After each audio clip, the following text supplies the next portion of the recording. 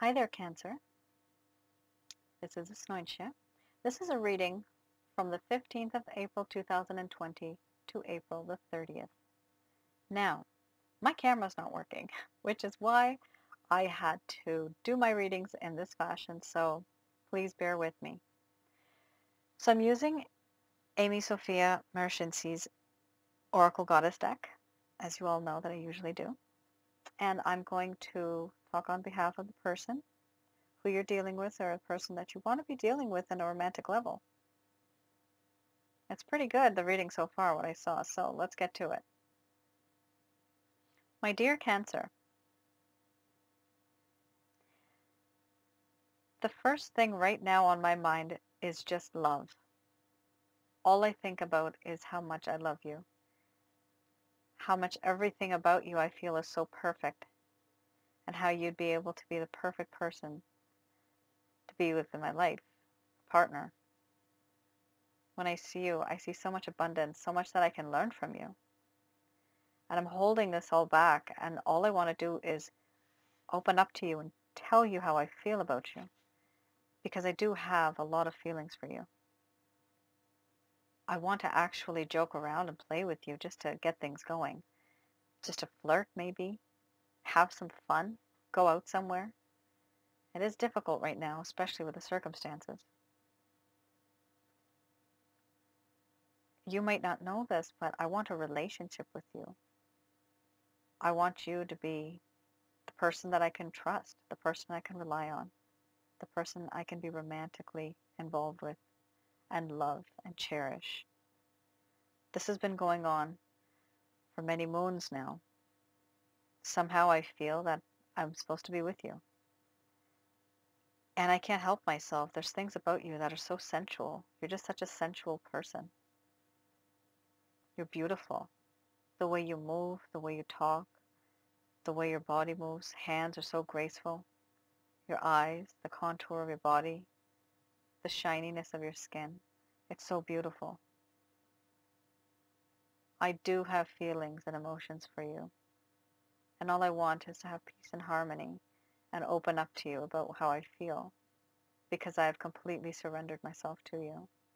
You might not know this, but I am totally yours. Head over heels.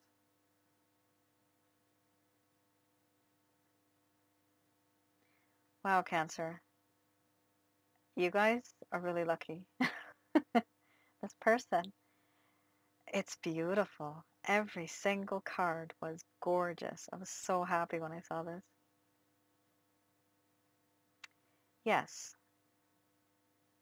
The next slide has the other reading. So let's see this. What's going to happen in the near future? What actions is this person going to take? So it does seem as if this person has taken time off or they had taken time off or maybe they will. They'll take time off to think about things. They're just going to ignore a few aspects of the situationship or the relationship for a while.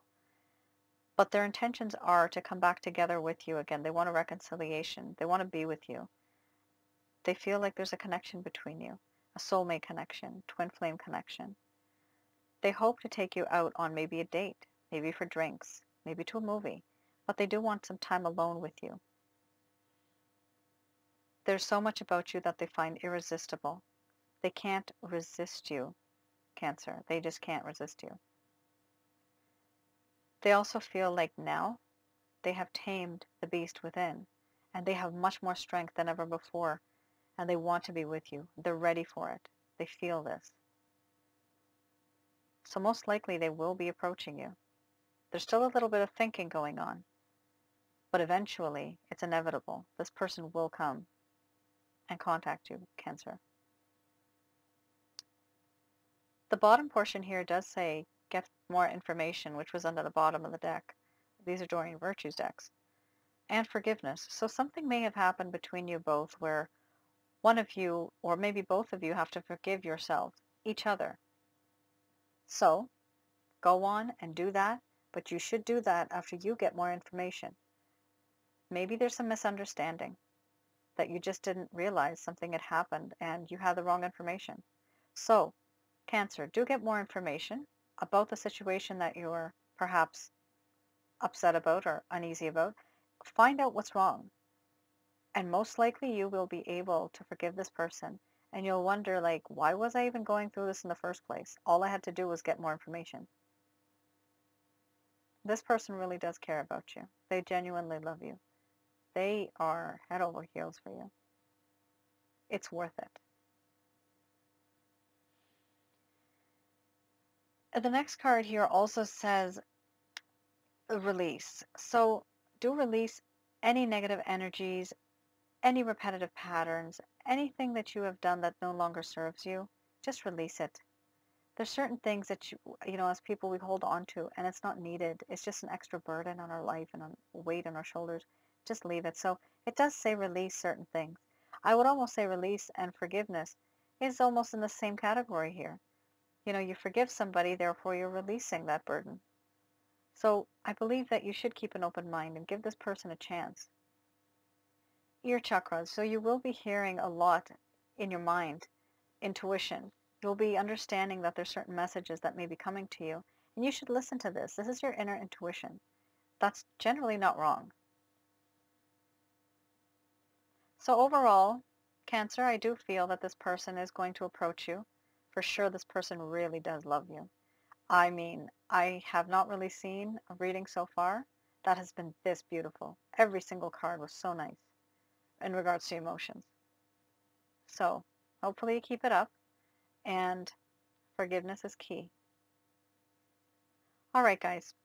I'll see you in May. Until then, do take care of yourselves. Love you all.